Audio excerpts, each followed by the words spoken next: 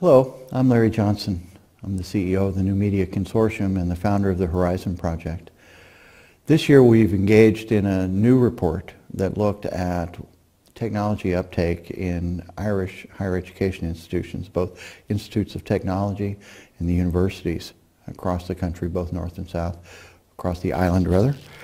And I want to share a, few insights uh, about the report with you from our perspective, uh, having done the Horizon Report now for 14 years in many, many countries and, uh, and having taken uh, a global perspective for most of that time, that it's a really interesting time for Ireland to be thinking about technology and learning in this way.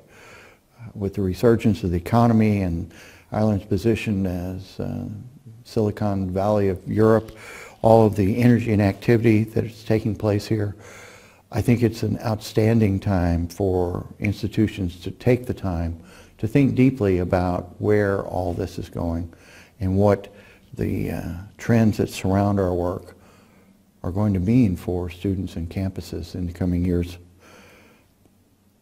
The report itself is the result of a set of deliberations that took place over the spring of 2015 among about 50 distinguished Irish experts in educational technology.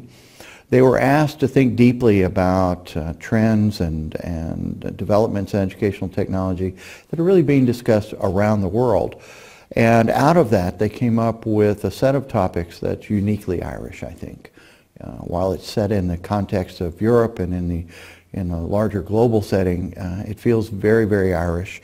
It parallels work that's going on in other parts of Irish education, and uh, we hope that it will be the catalyst for discussions uh, throughout the sector. That's the best way to think of the report. It's not a set of answers.